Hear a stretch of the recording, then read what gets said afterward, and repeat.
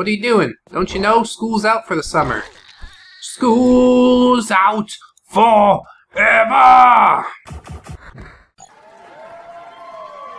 Good morning, friends. My name is Brandon Dayton. I'm your humble narrator. Welcome back to Project Zomboid. I've uh, started construction on our wonderful wall, and I think it shall link together quite nicely if I uh, if I do it correctly. I still can't tear that fucking door frame down, which is uh, chapping my ass quite a little bit. But it be what it be. So uh, we're gonna do what we do. I'm gonna drop these uh, these bullshits, shotguns and whatnot, and uh, I actually found out yesterday that I can roll a d6 with my shoes. So hopefully I'll I'll use that at some point. That'll be quite nice, huh? And I've also got a Glock and some 40, 40 mil rounds. Um, so we'll try not to forget those. There's my axe. Got a couple more trees. I'll do some chop chop chopping. Chopping away. That's how it be around here today. Because I am a lumberjack and I'm okay. I sleep all night and I work all day. That's just how it goes. Every once in a while. It's 5.30 in the morning. I'm out here chopping down trees already. What the fuck? How's that work? Pretty well. Pretty well, let me tell you that. Chop chop. I should probably build a door um, on this side as well. So I'll need to get some hinges and whatnot. But uh, we'll do it after this after this set, so it's not like hidden under this bleachers or whatever balcony. That's what it's called. It ain't bleachers, it's a balcony. Everybody knows that. Look at this, look at this stairs madness. Is this gonna work at all? I don't know. I don't know. We're gonna try and make it work. I need to uh, work up my master carpentry a little bit so my guy stops being like, I don't understand. I don't understand. I know. I know you don't. Because you're a little waterhead. Your head is filled with water. Alright, so we can do three walls going out this way. And then uh, I can also cover them with wood. Because it's good. And then I'll build a door on that side. I think that would be most wondrous. And I'm getting 30 experience for each one. So I don't even know if I'm going to be able to uh, to hit that next level that I want to hit. Hmm. Oh, covering with wood gives a lot more experience. Let's see. 65 to 245. Yeah, it's like 180 experience per. Maybe I will hit it. Maybe it's gonna be awesome. It's definitely gonna be awesome. Look at that. Look at that. Look how we doing there. And also, uh, I need some foods. Can I get some food somewhere? I'm very hungry, you see. Hmm, I got apple juice. But that only takes down two hunger. How about in here? Y'all got a fridge or something? They don't have a fridge. I mean, it is a motel. So I suppose uh, I shouldn't be surprised by that. Alright. Go across the street real quick to that there mini-mart. And the mini-mart must be making a killing because uh, they're right across the street from the hotel. And the hotel doesn't have stoves or anything like that. So what do we got here? Some chips? I'll eat that. Some Skittle candy for dessert? I'll eat that. And then some more chips. I'm to eat my way through this in no time at all. I'm a very hungry caterpillar, you see. Alright, well fed. That's that's good enough. Oh, and the door hinge and doorknob are right here. Directly where I need them. Fortuitous, yes. Alright, so let's run it on back. Run it on back! We gotta chop some trees too. Can't forget that part. That's crucial. Uh, equip axe in primary. Uh, I should probably be uh, heading a little further away. I don't want to chop all the trees down around my hotel. Of course, they're trees. They'll probably grow back. Everything's gonna be just fine. And luckily there's uh, no zombies to come out here and try and tickle my butt. Because that's what they do. if they hear you. But there ain't none. I didn't leave none alive to hear me. Alright, so, uh, good amount of planks and whatnots here. I'll build my door. I shall build my door just there. Chop them up. Chop up them logs. Now, a lot of people tell you just build a window, and then uh, you can put a sheet and it acts like a door, but uh, I like actual doors. It's classy. I'm all about class. Even if you're living in a zombocalypse, you gotta remember, it's all about class. So, 13 planks, that's looking pretty good. Uh, door frame. I need more nails. Shite! I forgot about the nails! I don't suppose I have a box with me. No, of course not. Alright. I make the slow trek back upstairs. Hey, box of nails, where you at? Grab one of these. Open that shit up. There we go. Now we're good to build a little further. I said open it. Would you please? Would you kindly? Would you kindly, sir? And uh, we'll probably need even another box of nails. But you know what? I got so many. Got so many I don't even know what to do with them all. Ah. That's why I take on uh, many projects. Many, many projects. Makes me feel so constructive. Alright, a little more wall frames. How many could we do? Just this one? The door takes a lot of planks. Four for the frame and four for the door. Damn. Damn, Bo. I didn't know it's like that. Uh, let's drop some planks over here, I suppose. That'll do. That'll do nicely. And as usual, I'm just playing this game like a fucking squirrel and just uh, dropping things where I think I'll remember that they might be later. Squirrel is pretty accurate, actually. That's exactly what squirrels do. They're like, I'm gonna hide these acorns right here and I'll totally remember later. But no, you won't, because you're a squirrel. You see? Squirrels don't remember nothing! And then they come across it later and they're like, ooh, what a, what a sweet treat. Much, much like the Dayton do. Yep. It's about the best analogy I could think of. Tell you what. Heavy load. Heavy load in my pants. Here we go. so, uh, a little more. Still got such a long way to go. I don't want to do this all day, but we're making pretty pretty easy progress on it. Let's see, not too much left. Should be uh, carpentry level 9 right after I finish this. And then I'll have to read the book a little bit and uh, get some more skills and whatnot. Because I don't want to have these skill points go to waste, you see? So we'll do uh, three wall Three Wally walls.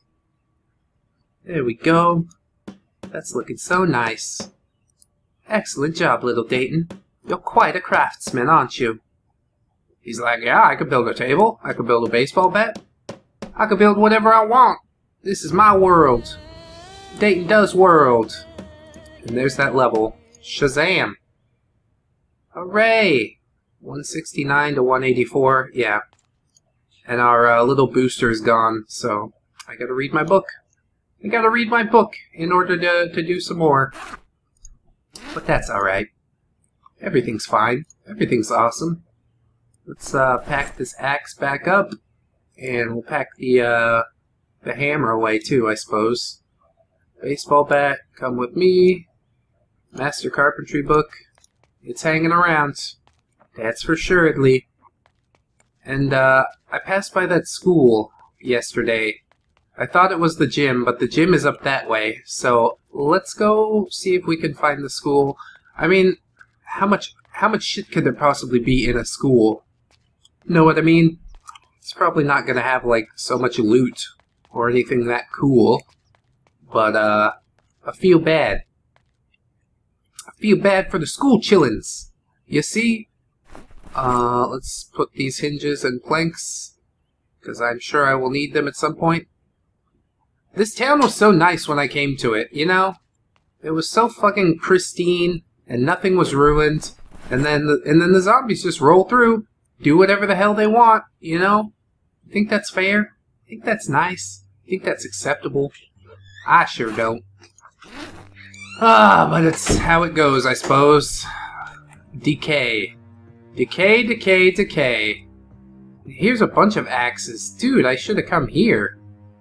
I skipped right over this place. Well, I can repair this baseball bat with some wood glue. That would be a good idea. Yes. Wonderful. It didn't do as well as I had hoped. More. More! More! I shouldn't waste too much of this, I guess. Thank you, wood glue. You've been quite helpful. Please go back on the shelf until I need you. At a later date. I saw a padlock. What's a padlock for? Used to lock containers, items and equip equipment can be stored securely. Well, I'm not hiding my uh, items from other players. I'm just hiding them from zombies, which, uh, they don't know how fucking locks work or anything like that. They can't even get through a door. They're so dumb. Look at how dumb they are. Ah, got him. Got him, coach. Hell yeah. I remember this wall from some point. Just avoid that fella right there. Swing on through the kitchen. Maybe there's uh, somewhere that I could sit down. My exertion is a little higher than I thought it would be. Let's go in this corner. That seems a safe place to rest for just a moment. And I uh, also have an energy drink should my uh, tiredness get the best of me. Which it does from time to time. You know, running around doing all this stuff, it can, uh, it can easily exhaust one. You must keep yourself well rested, lest the zombies come for you. And if you're all tired when the zombies come, that's it. That's it for you, bro. You're done. You're done! Colt Commander Super 38. Ooh. It has super in the name, but not many bullets, so I'll just take your $50 bill and be on my way. Thank you, sir. So nice of you. It's too bad you can't pickpocket the zombies. Like, if you're sneaking high enough, you just walk up to the zombies and you're like, what's in your pockets? And then as you're uh, shifting through that little inventory screen, they turn around and bite the shit out of you. That's how that would go. I think that's why it's not a feature yet. But largely in uh, Project Zomboid, I'm I'm just waiting for new features. It used to be one a week, and then I took, or it used to be two a week, and then I took it down to one a week because, uh, yeah, I want some new features. I want vehicles and things like that. I don't want the series to stop completely, but uh, I do want some new stuff, like uh, like Riverside. That was a new thing, and so I was like, hey, let's adventure over that way. And almost died getting here, but hey, we're here now. That's what's most importantly. What's most importantly? Oh, and there's that sliding glass door. Super cool. Super cool, bro. Alright. What you got? Magazine? I pass. Do not want. Oh, somebody locked the sliding glass door. Maybe I haven't been in this house yet. Let's have a little look-see. Climb through, close window. Let's open this door. There we go. Convenience at its finest! Now this egg carton has kept the eggs fresh. I don't know how. That seems like a miracle. Oh, this guy drank some, uh, some bleach. Read this empty notebook. Oh, I thought maybe he wrote something about why he drank the bleach and left himself on the floor. That would be a cool addition. Unfortunately, not the case. The boy just drank some bleach. Who could blame him? Do you want to live in this world? I know I don't. And uh, little Dayton doesn't have a choice, so he's just he's just doing the best he can, you know, making the best of what he got, which ain't too much. There's another box of nails. I take nails, nails, crate. Yeah, all these things are good. Cardboard box. I don't know what I would use that for. I'm a little bit hungry again. Hmm. Where did I see some foodies? In the Friggy? Yes. I think we must go back to the Friggy. Oh, I hear them outside. What y'all doing out there? Luckily, I don't need to make a bed. That was like one of the the first things that I had to do to build my, my fishing base. And it was a pain, dude. My goodness, I spent so much time looking for a needle and thread and pillows, and I think it's four pillows, four sheets, if I remember correctly. Which I hope I do. A couple batteries, some nails, wood crate. Wood crates, give to me. Uh, I guess I'm putting wood crates in the other bag. There you go. That'll do nice. We got fish food, chicken wire. Well, I ain't got fishes. I ain't got chickens. I got fishes, but like, you know, they're outdoor fish. I don't know what happens to them. I just kind of let them go. Like, okay, see you later, fish. When I'm hungry. Eh, eh, eh. It's probably what would happen if I had chickens, too.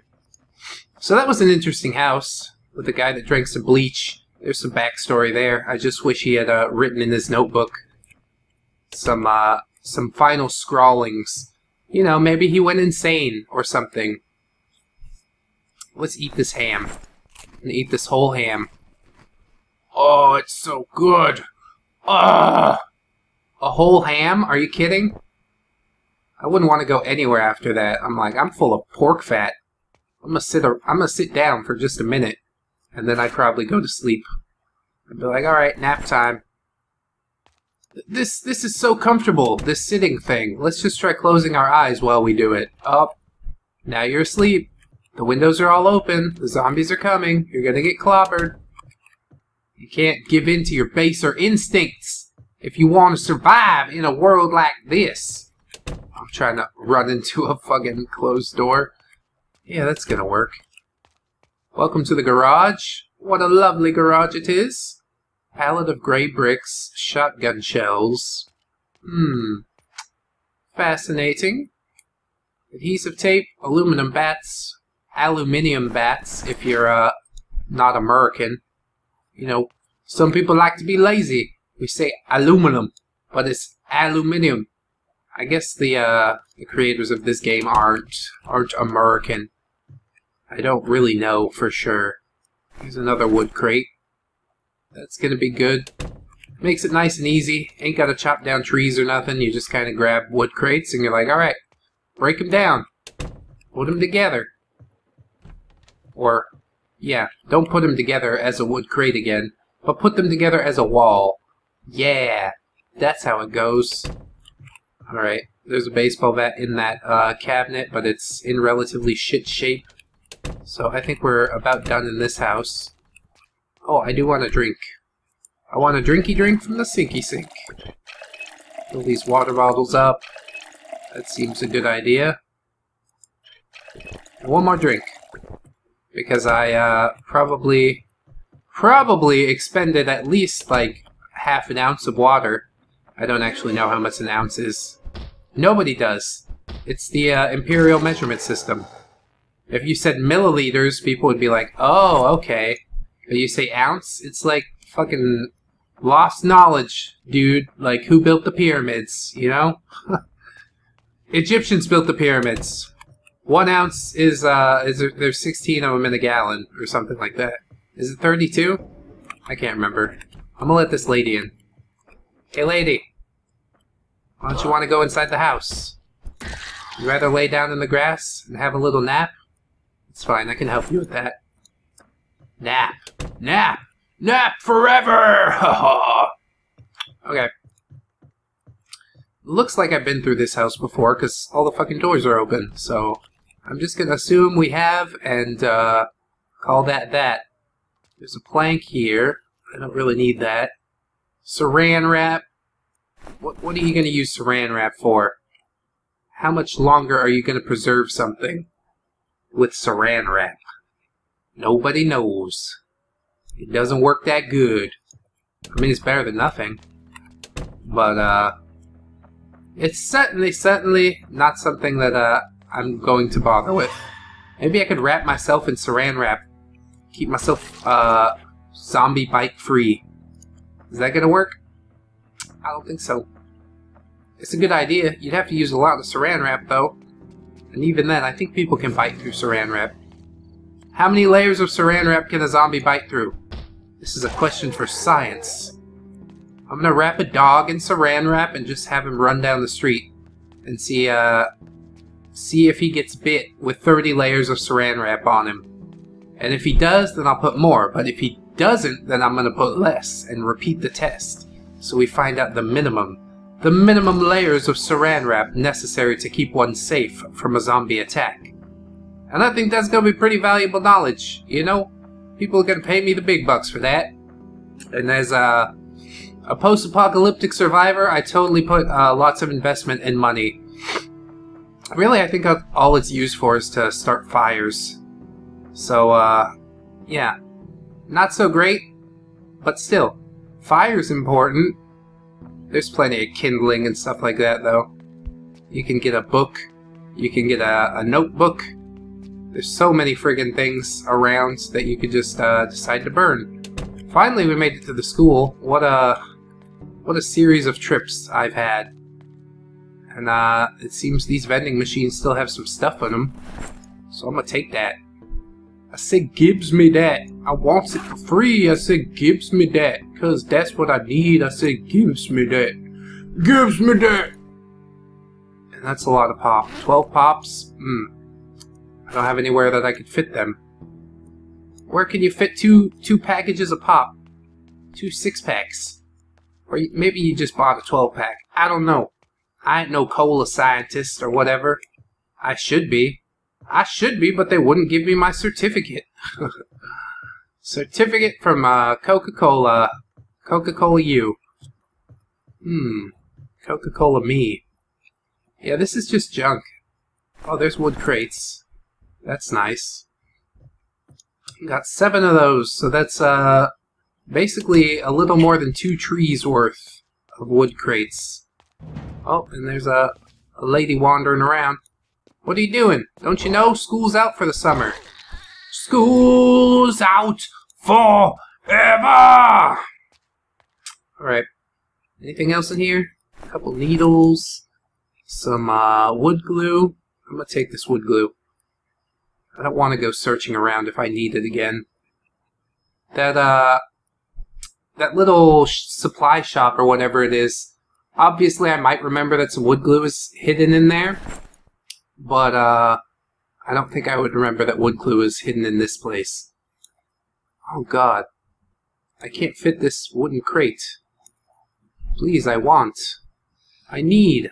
Oh, and also my energy's dropping. Let's drink a little sody little energy drink, which is basically just sody. Let's be honest with each other. And my, uh, my weight limit is up there now. So let's just see if I can remember where the school is for the next time. I mean, it, it, it generally is a bunch of junk. There's not a whole lot that interests me there. But you never know. It could be useful at some point. Especially if I barricaded everything and made it like a second base, but I kind of already decided on the hotel for that, so it be what it be. But yeah, it's just straight down from this weird looking brick wall. And uh, basically down the street from the hotel, I think. Do people that live in the hotel send their children to that school? That's weird, man. I never heard of hotel kids going to school. Hotel kids usually got like a drug problem or something. They live in a hotel because their parents are on meth. I mean, not judging if you lived in a hotel or something, but that's just that's just what I think of. That's what comes to my mind personally.